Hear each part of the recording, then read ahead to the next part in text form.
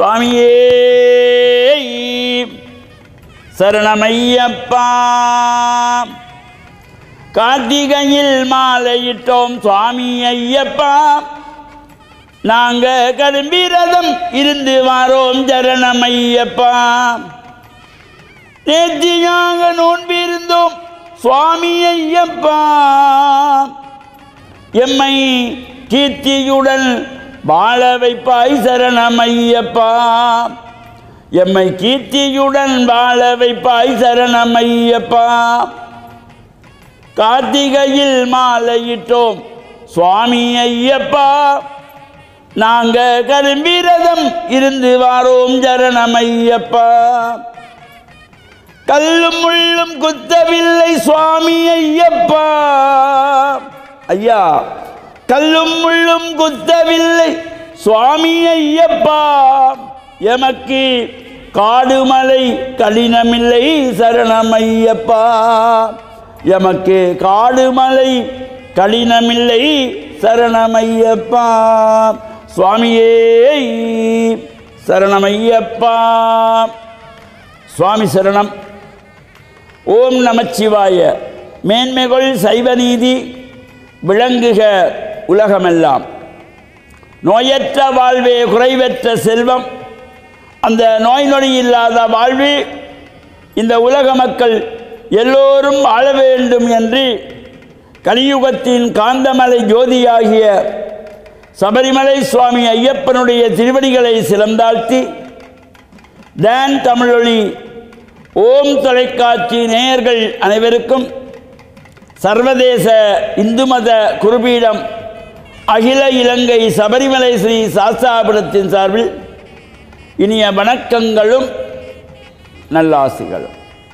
என்றும் மங்களகரமான சோபகிருது வருஷம் மார்கழி மாதம் பதினெட்டாம் நாள். மூன்று ஒன்று ரெண்டாயிரத்தி இருபத்தி நான்கு புதன்கிழமை.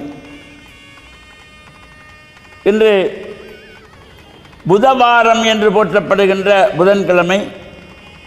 ஆலய வழிபாடுகளை சென்று வழிபாடு செய்யக்கூடியவர்கள் இந்த பூஜை வழிபாடில் கலந்து கொள்வதும் இன்றைய தினத்திலே அகில இலங்கை சபரிமலை சாஸ்தாபடத்தினாலே நடத்தப்படுகின்ற மகர ஜோதி பெருவிழாவிலே இன்று பிற்பகல் ஐந்து மணி முதல் சுவாமி ஐயப்பனுக்கு விசேஷ திரவிய அபிஷேகம் சங்காபிஷேகம் அத்தோடு இன்று தீர்த்த உற்சவம். சுவாமி சர்வாலங்கார பூஜிதராக புறப்பட்டு தீர்த்த உற்சவம் நிறைவு பெறும். மாலை அணிந்த சுவாமிகள் அடியார்கள்லாம் தீர்த்தமாடி இந்த சிறப்பான நிகழ்விலும் கலந்து கொண்டு இறையருடையெல்லாம் பெறுகின்ற வகையிலும் நாளைய தினம் கற்பண்ண சுவாமி பூஜை வழிபாடு.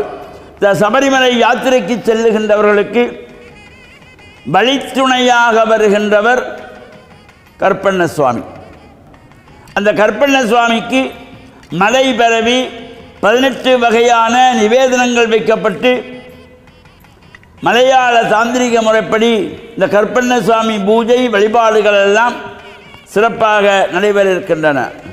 அத்தோடு சுவாமி ஐயப்பனுக்கு மாலை அணிந்த சுவாமிகள் அடியார்கள் எல்லாம் கற்பூர சட்டி ஏந்தி நடைபெறுகின்ற கற்பூர ஜோதி உற்சவம் தீச்சட்டி உற்சவமும் சிறப்பாக நடைபெற இருக்கின்றது. நாளைய தினம் பிற்பகல் நான்கு மணிக்கு ஆரம்பமாகி சிறப்பான உற்சவங்கள் எல்லாம் நடைபெற இருக்கின்றது. இந்த பூஜை வழிபாடும் கலந்து நாளை மறுநாள் ஐந்தாம் திகதி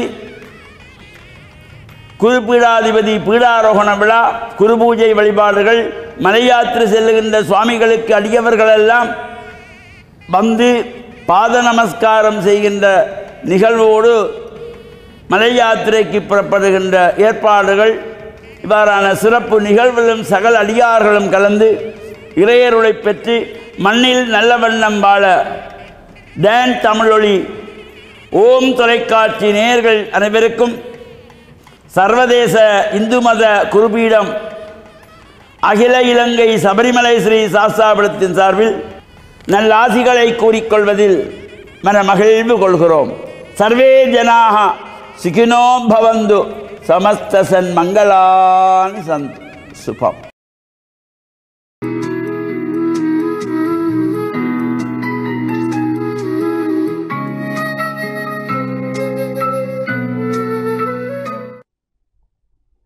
இறையேசுவில் என் அன்பு நெஞ்சங்களே ஆண்டவர் இயேசுவின் அன்பும் அருளும் உங்கள் அனைவரோடும் இருப்பதாக. நாம் இந்நாட்களிலே கிறிஸ்து பிறப்பினுடைய மகிழ்ச்சியின் அருளின் காலத்திலே இருக்கின்றோம். இன்று திரு அவை ஆண்டவர் இயேசுவினுடைய திரு நாமத்திற்கு விழா எடுக்கின்றது. ஆண்டவர் இயேசுவுக்கு இயேசு என்று பெயரிடுவீர் என்று சொல்லி மங்கள வார்த்தையின் பொழுது சொல்லப்பட்டது. மரியாவுக்கு. இவ்வாறு வேதநூல் இந்த இயேசு என்கின்ற பெயருக்கு முக்கியத்துவம் கொடுத்திருக்கின்றது. அதனால் மரபு ரீதியாக பல புனிதர்களும் திரு அவையும் இந்த இயேசு என்ற பெயரை இந்த ஜனவரி மாதம் முழுவதும் நினைவு கூர்ந்து அந்த பெயருக்கு புகழ்ச்சியும் அந்த பெயருக்கு வாழ்த்தும் தெரிவிப்பது ஒரு பக்தி முயற்சியாக இருக்கின்றது. இயேசு என்கின்ற அந்த பெயர் ஆண்டவர் பிறை மகனாக இருந்த அந்த இவர் அவருக்கு இயேசுவுக்கு இயேசு என்ற அந்த பெயரை கொடுத்தது ஒரு மகிமை நிறைந்த விடயமாகும். இந்த இயேசு என்கின்ற பெயர் அந்த இயேசு வேத நூலிலே இப்படிப்பட்ட ஒரு மீட்பர் இறைவாக்கினர் பிறப்பார் கடவுளின் மகன் அவர் அருள் நிறைய பெற்றவர் இப்படியெல்லாம் சொல்லப்படுகின்ற இந்த இயேசு என்ற அந்த பெயர். அந்த பெயருக்கு உரிய வாழ்க்கையை அவர் வாழ்ந்திருக்கின்றார். இந்நாட்களிலே நாங்கள் பிள்ளைகளுக்கு முன்னைய காலங்களிலே புனிதர்களுடைய பெயர்களை பிள்ளைகளுக்கு வைப்போம். இந்த நவீன காலத்திலே நாங்கள் பலவாறு சில எண்ணிக்கைகளை போட்டு அல்லது அப்படி அப்படி என்று சொல்லி நாங்கள் பிரபல்யமான அல்லது விசித்திரமான அல்லது ஒரு மாடர்ன் ஒரு நவீனமான பெயர்களை நாங்கள் சூட்டுகின்றோம். அவைகளெல்லாம் நல்லது. ஆனால் இந்த பெயருக்குரிய முறையிலே நாங்கள் வாழ வேண்டும். அந்த பெயர் எந்த செய்தியையும் சொல்லவில்லை என்றால் அவர்கள் வாழ மாட்டார் ஒரு புனிதருடைய பெயரை கொடுக்கின்ற பொழுது அதையும் நாங்கள் நவீனமயப்படுத்தி சொல்லலாம். அப்படி அந்த புனிதருடைய பெயரை கொடுக்கின்ற பொழுது அந்த புனிதருடைய வாழ்க்கையை அந்த குழந்தை அந்த சிறுவன் சிறுமி அதை படித்து அவர்களே ஒரு பக்தியை உருவாக்கி அந்த முறையிலே அவர்கள் ஆன்மீக வாழ்வை வளப்படுத்துவதற்கு இவைகளெல்லாம் உதவியாக தூண்டுதலாக இருக்கலாம்.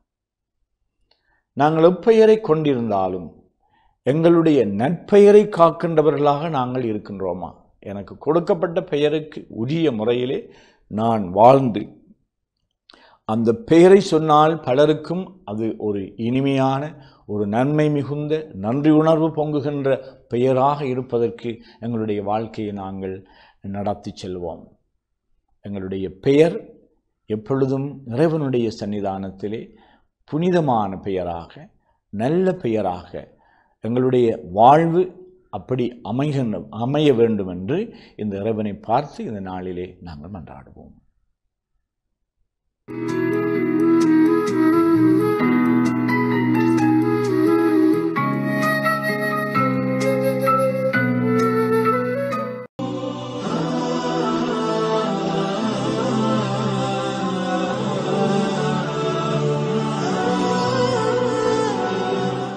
لله رب العالمين والصلاة والسلام على محمد صلى الله عليه وسلم وعلى آله وصحبه أجمعين أما بعد. அன்புள்ள நேயர்களே சகோதரர்களே இன்றைய காலை பொழுதிலே உங்களை சந்திப்பதிலே நான் மகிழ்ச்சி அடைகின்றேன். இன்றைய நாளையிலே நான் உங்களுக்கு சொல்ல விரும்புகின்ற நல்ல செய்தி என்னவென்று சொன்னால் பெற்றோர்கள் தமது பிள்ளைகளை நேரான வழியிலே வளர்த்தெடுப்பு எடுக்கின்ற முயற்சியிலே அவர்கள் ஈடுபட வேண்டும். பிள்ளைகளுக்கு நல்ல பண்பாடுகளை அவர்கள் சொல்லிக் கொடுக்க வேண்டும்.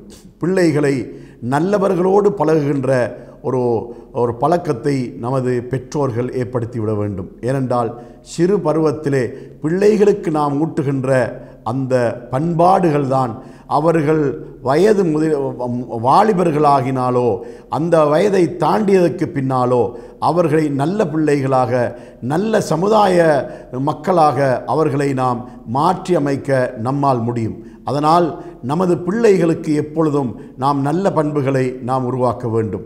நல்ல பழக்க வழக்கங்களை நாம் எப்பொழுதும் உருவாக்க வேண்டும். எப்பொழுதும் பிள்ளைகளுக்கு பெற்றோர்கள் முன்மாதிரியானவர்களாக இருக்க வேண்டும். பிள்ளைகளுக்கு நாம் எதை கூடாது என்று தடுக்கின்றோமோ அதை பெற்றோர்கள் செய்கின்றவர்களாக ஒருபோதும் இருக்கக்கூடாது. பெற்றோர்கள் ஒரு பிழையை செய்து கொண்டு அதே பிழையை பிள்ளைகள் செய்யக்கூடாது என்று தடுக்கின்ற பெற்றோர்களாக ஒருபோதும் இருக்கக்கூடாது. இறைவன் திருமறை குர்வானிலே சொல்கிறான் யா யுகல்லதீன ஆமனு லிமத்த கூலூன மாலா தஃபாலூன். மூமிங்களே விசுவாசிகளே நீங்கள் செய்யாததை எதற்காக பிறருக்கு கட்டளை இடுகின்றீர்கள் பிறருக்கு சொல்லுகிறீர்கள் என்று இறைவன் நம்மை பார்த்து கேட்கின்றான். அதனால் நமது பிள்ளைகளுக்கு நாம் சொல்லுகின்ற நமது செய்திகளெல்லாம் நாம் நாம் செய்கின்ற க நாம் செய்யக்கூடிய நல்லவைகளை மட்டுமே நாம் அவர்களுக்கு சொல்ல வேண்டும். நாம் ஏதாவது தீமைகள் செய்து கொண்டிருந்தால் அதே தீமைகளிலிருந்து பிள்ளைகளை தடுக்க வேண்டும் என்ற அந்த எண்ணம் நமக்கு இருக்குமாயிருந்தால் முதன் முதலாக நாம் செய்ய வேண்டிய காரியம் அந்த தீமைகளை நாம் விட வேண்டும். அதை விட்டுவிட்டு பிள்ளைகளுக்கும் அந்த தீமை விடு தீமையை விடுமாறு சொல்ல வேண்டும். அதற்கு ஒரு உதாரணம் சொல்லலாம். இன்று புகைக்கின்ற பழக்கமுடையவர்களாக புகைபிடிக்கின்ற பழக்கமுடையவர்களாக அதிகமான ஆண்கள் இருப்பதை பார்க்கின்றோம். ஐரோப்பிய நாடுகளில் பெண்களும் புகைக்கின்றார்கள். இலங்கையை பொறுத்தவரையில் ஆசியா நாடுகளை பொறுத்தவரையில் அதிகமாக ஆண்கள் தான் புகைக்கின்றார்கள். புகைக்கின்ற ஒரு தந்தைக்கு தனது மகன் புகை புகைப்பழக்கமுடையவனாக இருப்பதற்கு விருப்பமில்லை. அதனால் இவன் புகைத்து கொண்டே மகன் புகைக்கின்ற போது மகனை தண்டிக்கின்றவனாக இருக்கின்ற ஒரு தீய பழக்கத்தை நாம் பார்க்கின்றோம். இறைவன் என்ன சொல்கிறான்? நீங்கள் செய்யாததை ஏன் பிறருக்கு செய்யுமாறு ஏவுகின்றீர்கள்? நீங்கள் செய்ய நீங்கள் எதை கூடாதென்று கருதுகின்றீர்களோ அதை நீங்கள் விட்டு விடுகின்ற வரைக்கும் ஏன் உங்களது பிள்ளைகளுக்கு விடுமாறு நீங்கள் தடை செய்கின்றீர்கள் கட்டளையிடுகின்றீர்கள் என்ற இந்த கருத்தை தான் திருமறை குர்ஆனிலே இறைவன் நம்மை பார்த்து கேட்கின்றான். அதனால் மது பழக்கம் உள்ள ஒரு தந்தை தனது மகன் மது அருந்துகிறான் என்று சொன்னால் இவன் முதலாவது அதை விட வேண்டும். அதனால் அதற்கு பின்னால் பிள்ளையை விடுமாறு சொல்ல வேண்டும். புகைக்கின்ற பழக்கமுடைய ஒரு தந்தை முதலாவது தன்னிடத்தில் இருக்கின்ற பழக்கத்தை விட வேண்டும். அதன் பின்னால் தனது பிள்ளைக்கு அதை விடுமாறு அவன் கட்டளையிட வேண்டும். அவ்வாறு கட்டளையிட்டால் அந்த பிள்ளை அதற்கு செவிதாழ்த்த ஒரு சந்தர்ப்பம் இருக்கின்றது. ஏனென்றால் அந்த பிள்ளை சிந்திக்கும். ஆம்.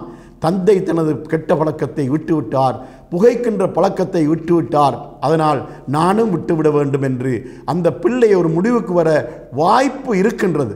அதனால் தீய பழக்கங்களை நம்மிடத்தில் வைத்துக்கொண்டு அதே தீய பழக்கங்களை செய்கின்ற நமது பிள்ளைகளுக்கு அதை செய்யக்கூடாது என்று தடுக்கின்ற இந்த ஒரு அறிவீனமான நடைமுறை ஒரு எந்த பெற்றோர்களிடத்திலும் இருக்கக்கூடாது என்பதை நான் இந்த இடத்திலே உங்களுக்கு இந்த காலை பொழுதிலே சொல்லிக்கொள்ள விரும்புகின்றேன். அதனால் பிள்ளைகளை பராமரிக்கின்ற பிள்ளைகளை நேர்வழியிலே வழிநடத்துகின்ற பெற்றோர்கள் ஒவ்வொருவரும் மிக மிக கவனமாக வழிநடத்த வேண்டும். தம்மை முன்மாதிரியாக கொண்டே தமது பிள்ளைகள் நேர்வழி நடக்க வேண்டும் என்பதை கவனத்தில் கொண்டு தாம் நல்ல பழக்கமுடையவர்களாக நல்ல பண்பாடுகளுடையவர்களாக அவர்கள் நடந்து கொண்டு அதே பழக்கங்களை அதே பண்பாடுகளை பிள்ளைகளுக்கு ஊட்டுகின்ற பெற்றோர்களாக நமது பெற்றோர்கள் மாற்றமடைய வேண்டும் என்பதை இந்த காலை பொழுதிலே கூறிக்கொள்கிறேன் வாஹிரு தவானா அனில் அஹமதுல்லாஹி ரபில்